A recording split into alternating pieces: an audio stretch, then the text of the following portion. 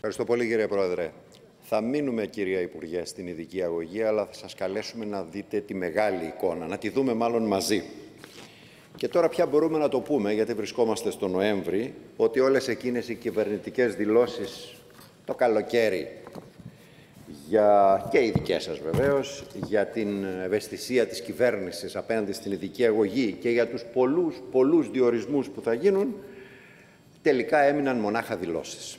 Λόγια του αέρα δηλαδή, αρκεί να σας πω μονάχα πριν από λίγο, Κύριε Υφυπουργέ, δεν, δεν πριν από λίγο ζητήσατε να μην σας διακόπτουν. Συνεχίστε κύριε συνάδελφε. Ε, έναν αριθμό θα σας πω μονάχα. Ο, ο αριθμός ε, των διορισμών δεν είναι ούτε καν χίλιοι, 995 είναι οι διορισμοί για την ειδική αγωγή, όταν πέρυσι μονάχα είχατε προσλάβει ως αναπληρωτές 18.000, δηλαδή καλύψατε το 1 18 των, ε, και, και λιγότερο των, ε, των αναγκών. Βρισκόμαστε πια στον τρίτο μήνα, ε, κυρία Υπουργέ, της σχολικής χρονιάς και τόσο στα ειδικά σχολεία όσο και στην ειδική αγωγή στα, στα γενικά σχολεία υπάρχουν ακόμη πολλά κενά, αρκετά κενά, τα οποία παίρνουν, παίρνουν βέβαια σε σχέση και με το είδος αυτής της εκπαίδευσης, πολλές φορές παίρνουν και ένα δραματικό χαρακτήρα. Όχι μονάχα δεν έγιναν, όπως είπαμε, οι εξαγγελόμενοι διορισμοί μόνιμου προσωπικού, αλλά ακόμα και αυτή η δεύτερη φάση των προσλήψεων των αναπληρωτών και καθυστέρησε να γίνει, καθώς έγινε πριν από λίγες μέρες, αλλά και δεν κάλυψε τις τεράστιες ανάγκες που υπάρχουν στα ειδικά σχολεία σήμερα. Και έτσι φτάσαμε οι τοποθετήσεις αυτές να υπολείπονται δραματικά των αναγκών προκειμένου να ασκηθεί σε αυτά τα σχολεία, σε αυτό το είδος της εκπαίδευσης, ένα ουσιαστικό και αποτελεσματικό και επιστημονικό εκπαιδευτικό έργο. Καθώς, για να γίνω πιο συγκεκριμένος, κύριε Υπουργέ, ένας μονάχα ψυχολόγος ή ένας εργοθεραπευτής ή ένας λογοθεραπευτής, όταν και εφόσον αυτός προσληφθεί, για δεκάδες μαθητές με αναπηρία σε ένα ειδικό σχολείο, ασφαλώς και δεν επαρκεί για να ασκήσει το επιστημονικό του έργο με σύγχρονους αναβαθμισμένους επιστημονικούς όρους, να μπορέσει να καλύψει αυτές τις ανάγκες, τις σύνθετες ανάγκες αυτών των παιδιών, τις παιδαγωγικές, τις επιστημονικές, για κάθε παιδί. Όσο για τους διορισμούς σε ειδικό βοηθητικό προσωπικό, είναι και αυτοί ελάχιστοι. Μιλάω για το ειδικό βοηθητικό προσωπικό, τους EVP όπως είναι γνωστοί στο χώρο, είναι ελάχιστοι οι διορισμοί αυτοί σε σχέση με τον αριθμό των μαθητών που καλύπτουν. Όταν το έργο αυτών των ανθρώπων είναι ενταγμένο στην διεπιστημονική παρέμβαση και επιπλέον είναι και αναντικατάστατο και σημαντικότατο βέβαια, όλοι καταλαβαίνουμε γιατί, για την κατάκτηση της αυτονομίας, της ανεξαρτησίας, την κατάκτηση της αυτοεξυπηρέτησης, που για αυτά τα παιδιά είναι ένας πολύ μεγάλος στόχος. Επίσης, στα γενικά σχολεία, τόσο η παράλληλη στήριξη όσο και τα τμήματα ένταξης, κλείνω κύριε Πρόεδρε, έχουν αφαιθεί κυριολεκτικά στην τύχη τους και βέβαια υποστελεχωμένα εξακολουθούν να είναι και τα κεδασί. Με ό,τι αυτό σημαίνει για τις καθυστερήσεις στις βεβαιώσεις και τις διαγνώσεις αυτών των παιδιών. Γι' αυτό σας ρωτάμε κλείνοντας, ποια μέτρα θα λάβετε κυρία Υπουργέ ως κυβέρνηση ώστε να καλυφθούν όλα τα κενά τα οποία παραμένουν στα ειδικά και στα γενικά σχολεία και να μονιμοποιηθούν επιτέλους όλοι οι συμβασιούχοι στην ειδική αγωγή και σε όλη την εκπαίδευση. Ευχαριστώ. Ευχαριστούμε πολύ τον κύριο Δελή. Κυρία Φεβουργέ.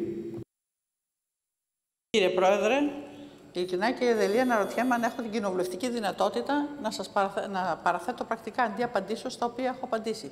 Κάθε φορά έρχεστε με τα ίδια ερωτήματα, με διαφορετικές λέξεις, με το ίδιο νόημα δεν ξέρω αν την έχω, κύριε Πρόεδρε, θα σας συμβουλευτώ μετά, γιατί απαντώ και εγώ στα ίδια πράγματα, κουράζομαι και ήδη να ακούω τον εαυτό μου. Να μιλήσω λοιπόν για τους 40.000 διορισμούς και θα απαντήσω με νούμερα, γιατί κύριε συνάδελφε, λέτε στην ερώτησή σας ότι η Υφυπουργός Παιδείας έκανε δηλώσεις το καλοκαίρι που αποδείχθηκαν ένα μεγάλο ψέμα. Λοιπόν, εγώ είμαι υφυπουργός που έκανε τη δήλωση και είπε τα ψέματα. 5.737 εκπαιδευτικοί στην ειδική αγωγή από τους 40.000 σχεδόν που διορίστηκαν. 4.739 την προηγούμενη τετραετία, 995 φέτος. Σύνολο το νούμερο που σας είπα. Εκτός αυτών θα μπορούσαμε να προσθέσουμε και θα έπρεπε 1.590 μόνιμους διορισμούς μελών ειδικού εκπαιδευτικού βοηθητικού προσωπικού την προηγούμενη τετραετία. 1.210 μόνιμους διορισμούς μελών εκπαιδευτικού και βοηθητικού προσωπικού για το τρέχον έτος, συνολικά 2.800. Αν τους προσθέσουμε στους 5.734, έχουμε μόνο για την ειδική αγωγή 8.534 μόνιμους διορισμούς για πρώτη φορά στα εκπαιδευτικά χρονικά. Μέχρι τότε είχαμε μόνο αναπληρωτές. Ειδικά για τα μέλη ειδικού εκπαιδευτικού και βοηθητικού προσωπικού. Το Μάρτιο του 20 πριν η κυβέρνηση του Κυριάκου Μητσοτάκη αρχίσει να κάνει διορισμούς, στα σχολικά δίκτυα, στα ΣΔΕΗ και στα ΚΕΔΑΣΥ, 708 μόνιμοι, μόνιμα μέλη ειδικού εκπαιδευτικού και βοηθητικού προσωπικού. Σήμερα 3.424.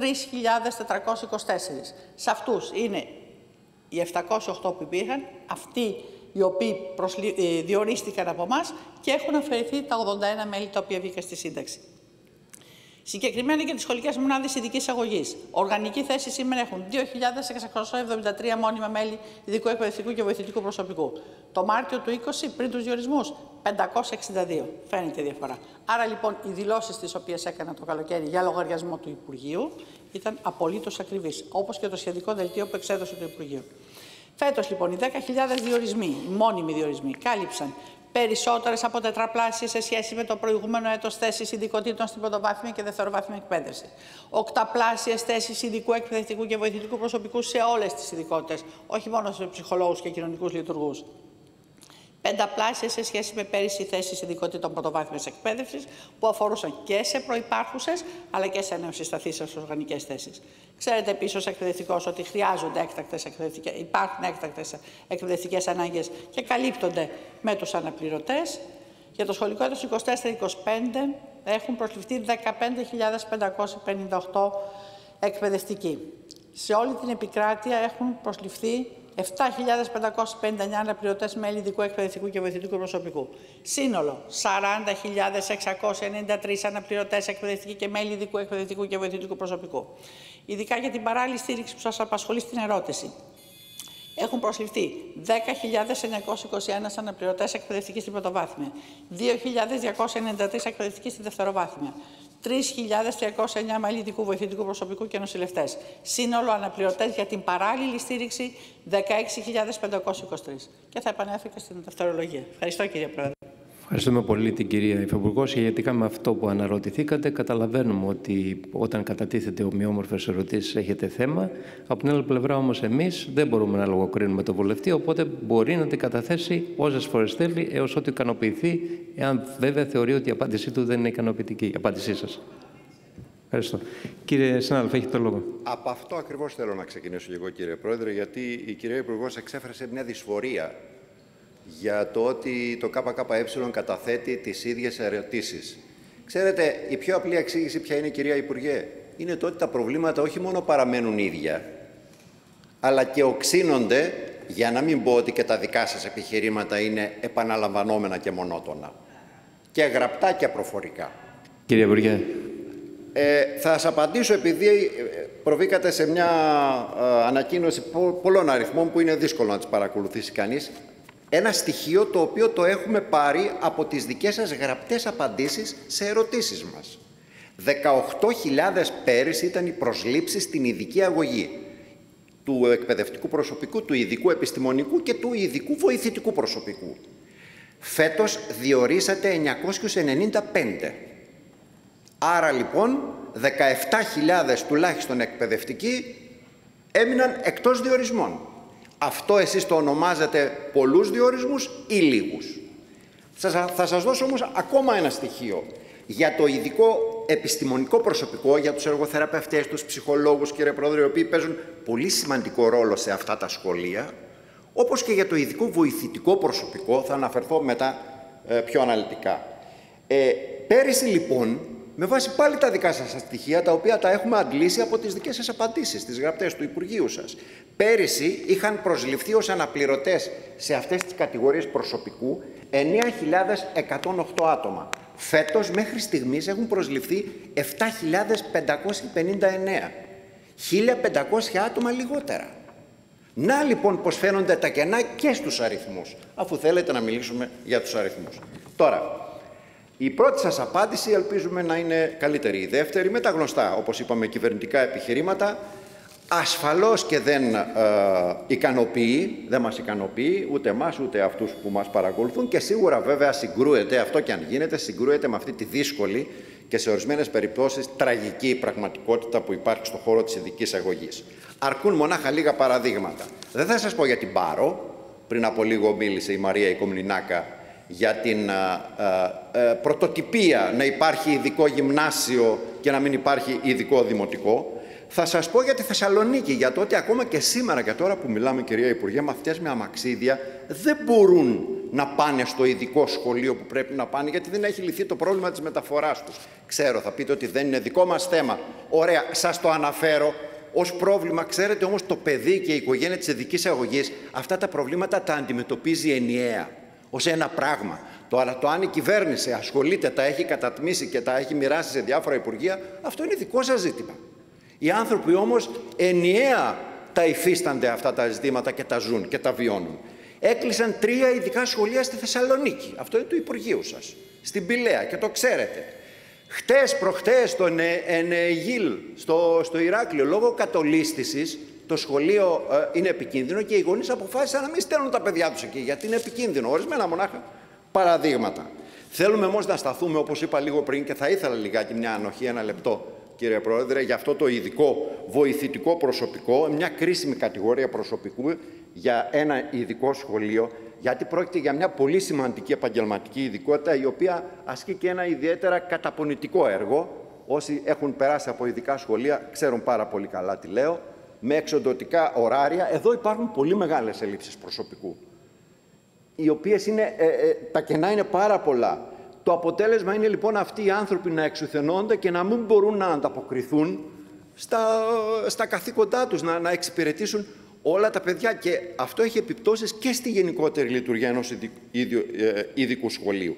Τώρα, στο κατά τα άλλα συμπεριληπτικό σχολείο, εσείς βέβαια δεν χρησιμοποιείτε αυτήν την, αυτό το επίθετο, η κυβέρνηση όμως το, το, το χρησιμοποιεί, αρκεί μονάχα να πούμε ότι το 49% των ατόμων με αναπηρία στην Ευρωπαϊκή Ένωση, ο μέσος όρος είναι αποκλεισμένο, έτσι όπως το ακούτε, αποκλεισμένο και από την εκπαίδευση και από το επάγγελμα στην Ευρωπαϊκή Ένωση.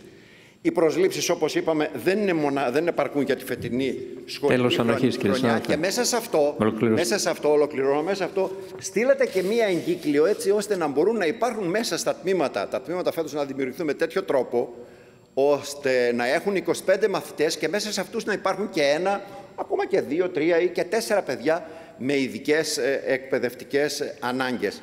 Έρχεστε δηλαδή εδώ και συγκρούεστε και με την επιστήμη, την παραμερίζετε και λέτε επιπλέον ότι μπορεί ένας εκπαιδευτικός παράλληλης στήριξης όχι να ασχολείται εξατομικευμένα με ένα παιδί, αλλά ασχολείται και με, το, και με δύο και με τρία και, και με τέσσερα παιδιά. Είναι φανερό ότι η πολιτική σας υπηρετεί τους δημοσιονομικούς στόχους της κυβέρνησής σας. Συγκρούεται όμως με την επιστήμη, γιατί οι ανάγκες αυτών των παιδιών υπαγορεύονται από την επιστήμη. Εσείς τις μετράτε με τη βάση της δημοσιονομικές αντοχές στην οικονομία, στην πολιτική που υπηρετείτε, γι' αυτό και καταφεύγετε σε αυτά τα μέτρα. Αυτό πολύ, λέμε και, και τις ελλείψεις, και κλείνω εδώ κύριε Πρόεδρε, και τις ελλείψεις σε αυτά τα ειδικά σχολεία που υπάρχουν σε σχέση με όλα όσα δικαιούνται αυτά τα παιδιά, έρχονται μετά τα απογεύματα οι οικογένειές τους και τρώνε όλα τους τα απογεύματα από το μεσημέρι μέχρι το βράδυ και βέβαια ξοδεύονται προκειμένου να καλύψουν αυτές τις ανάγκες που θα έπρεπε να παρέχονται δωρεάν στα σχολεία.